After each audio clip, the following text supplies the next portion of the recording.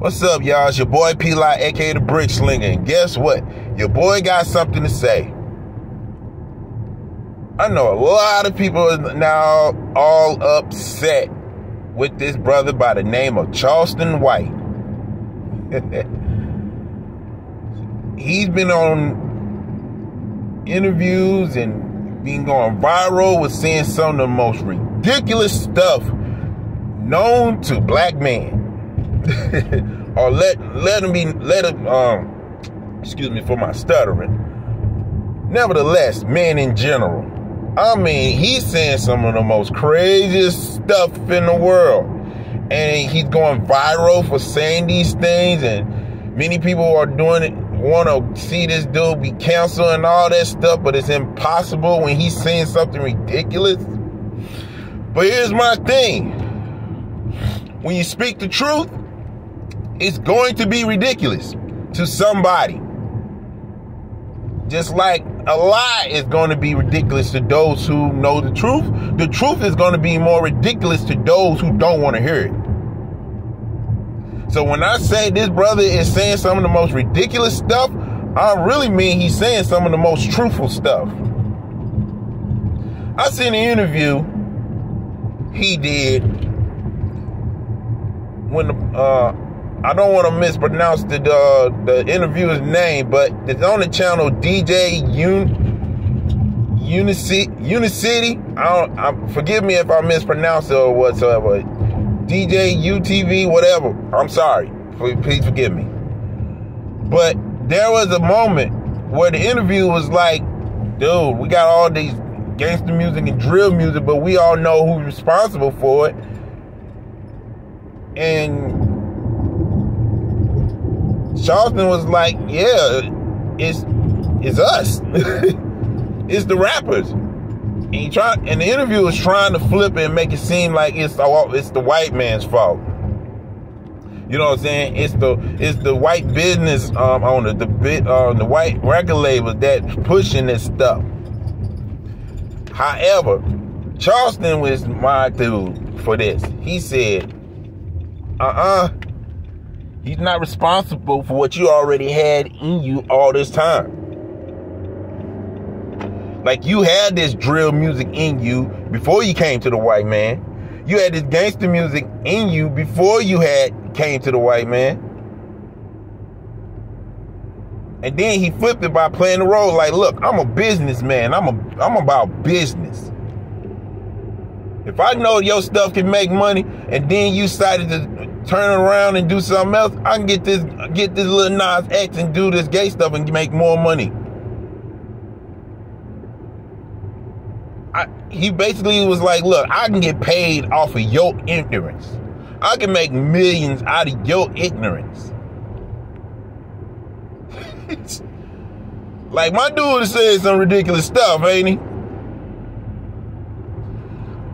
My thing with this dude is like he becoming that breath of fresh air after Kevin Samuels. I know folks are gonna get at me and be like, really, you gonna say this stuff? But my thing is this. Tell me something, tell me something better.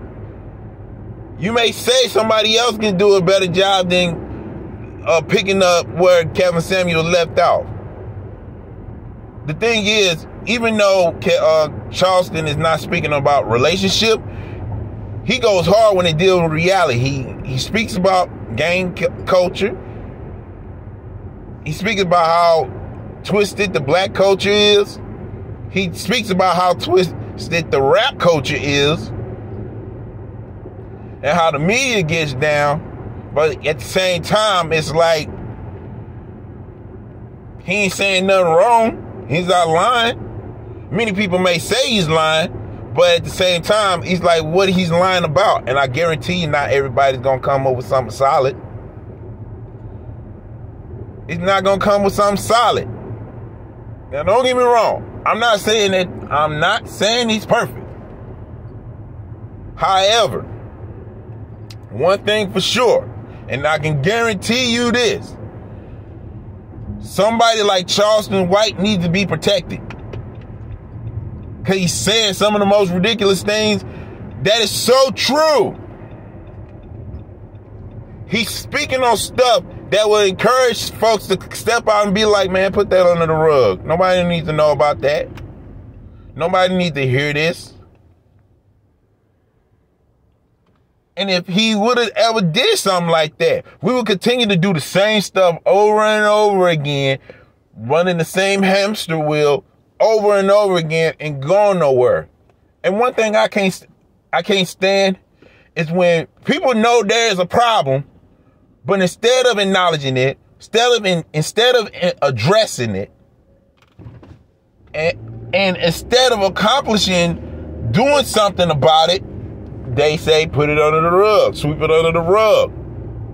It's not a big deal. Well, in the black community, it is a big deal. Because you got somebody who's not afraid to tell the truth. My dude speak the truth out with no fear. No fear. And at this point, that's how I should be like as a Christian. That should everybody who believe that believe in Jesus Christ, that's how they should feel. They should be feeling like there's no fear in speaking the truth. Although, blessed are those who will be persecuted. Blessed are those who will be persecuted. In all because of Jesus. All because of Jesus. Because we're afraid to speak the truth because we know that there's backlash to go along with it. We're afraid to speak the truth because we know there's persecution along the way. We're scared to speak the truth because truth be told, the minute we speak the truth, somebody gonna try to bring some truth about us uh, 10 years ago, 20 years ago. We're afraid to speak the truth because of cancel culture. And yet here's somebody like Charleston White saying, forget culture, forget this culture.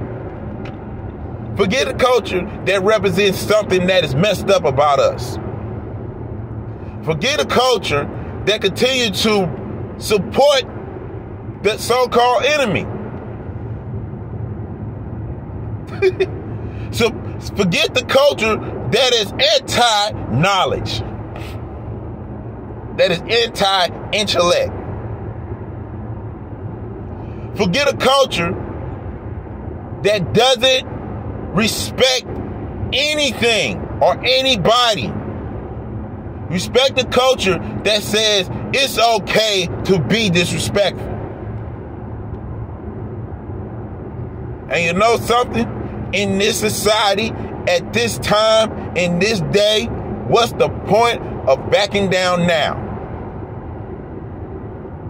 When the rule is, there is no rule. Anything goes. So at this point, if anything goes, so does the gospel. And somebody's going to check this video out and ready and willing to debate me or say something ridiculous. But you know what? I stand stand on mine. Cause one thing for sure, ain't nobody gonna really have this type of conversation with anybody because truth be told, somebody gonna be the fool. And we all know fools are wise in their own eyes. And correcting the fool is a bad thing because the minute you correct the fool, you end up becoming the fool. You can get wisdom from a silent fool, though. Believe it or not. So a foolish person is going to be be foolish, but they're gonna be wise in their own eyes. That's why it's best to not have foolish arguments. However, when it comes to the truth, when it comes to the gospel, I'ma stand on that. I'm all about the truth no matter who says it. That's an infamous uh, quote from Malcolm X. By the way, I'm down with the I'm down with the truth no matter who says it. And I salute Charleston White because he's out there speaking the truth. And many people will want to jump him and, and, and try to take him out, snuff his life out, all that stuff. But since we're living in the days of YouTube and social media and internet, even if they do it today, even if they mess around and get Charleston White, his stuff lives on forever. Just like Kevin Samuel. He's no longer here on this earth. And folks still want to spit on his grave. They still want to spit on his name. They still want to spit on his legacy. However, his stuff live is going to last longer than him on this earth. Just like Tupac. Tupac music lives on forever. Pac been gone since 1996. It's 2022, and folks still consider Tupac the greatest of all time. Want to go a little deeper? Okay, Jesus died at age 33, but yet came back to life three days after his own death. And yet his his legacy still lives on. His teaching still lives on. His words is forever. His word was forever way before he was even born. So when it all said and done, when you speak the truth, things are not going to be beautiful, but I guarantee you it lasts longer than a lie. But that's just me. If you like what you heard, there is a like button. If you dislike what you heard, there is a dislike button. Comment, share your two piece, share your two cents. Give me your two cents. And you know what? You can even disagree, but as long as you're not you're not disrespectful, it's all right with me subscribe, share this video. Let's continue this conversation. Until then, this is your boy P Lot, aka the Brick Slinger. Go check out Man Under Construction. It's on every digital outlet from iTunes, Amazon, YouTube Music, all that. Until, uh, and as always, continue to sharpen one another. Support the kingdom. Support the kingdom. Take care and God bless. Laborers.